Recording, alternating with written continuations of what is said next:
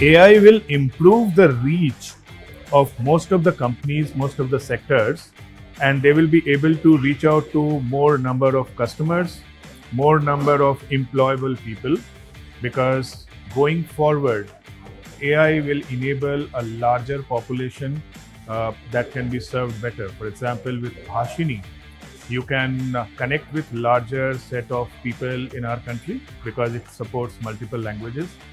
With learning application of AI, a large pool of people will get skill and you can hire not only from typical uh, traditional colleges and institutes but a larger set of them. Similarly there will be n number of such impact when it comes to uh, improvement in the larger reach out. So that is one trend that i see which companies and sectors uh, should certainly leverage